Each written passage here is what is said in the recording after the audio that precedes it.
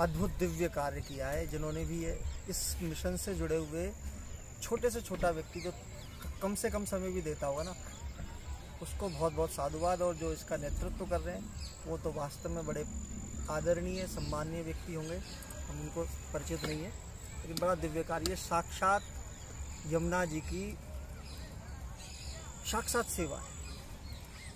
अद्भुत दिव्य कार्य। शायद ये अभी बता रहे थे ना देवेंद्र भैया, सत्तर अस्सी साल तक के किसी लोगों ने नहीं देखा तो ये तो वास्तव में दिव्य बहुत अनुपम दिव्य कार्य है और हम लोग यहाँ आए, हम भी अपने आप को बहुत भाग्यशाली महसूस कर रहे हैं। ऐसे मिशन से हमारा जो थोड़ा बहुत भी योगदान है, ठाकुर जी हमारी मति को ऐसा बनावे कि हम और ज़्यादा से ज़्यादा सहयोग, सेवा करने के लिए हमेशा तत्पर तुम लोग कुछ, बोलो। जय श्री सीताराम। हमने भी जो है, हम बालकालीन यही ब्रजवासी, यही ब्रज के, गाँव के जन्म हैं। बालकाल में मथुरा की परिक्रमा करने के लिए आते थे।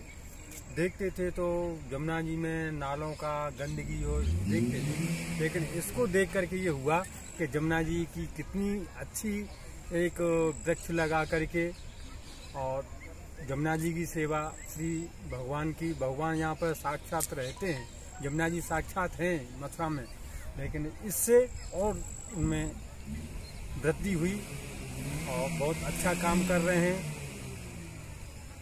इस कार्य से प्रकृति भी प्रसन्न है, भगवान भी प्रसन्न है जमुना मैया भी जो प्रसन्न है। इससे हम हम लोग जो देखने वाले हैं व्यक्ति हैं वो भी लोग खूब प्रसन्न है जो करने वाले हैं वो लोग। अद्भुत दिव्य दिव्य कार्य हो रहा है और हो इनकी खूब मदद करें। इनकी खूब खूब हाँ, खूब मदद करें खूब सहयोग करें। और ये जैसे वृक्ष जो जो जैसे जैसे बढ़ रहे हैं ना ऐसे ऐसे इसकी इस उपवन की कीर्ति का विस्तार इसी तरीके से होता है होता रहे जो है। जय जय श्री सीताराम जय श्री राधे राधे।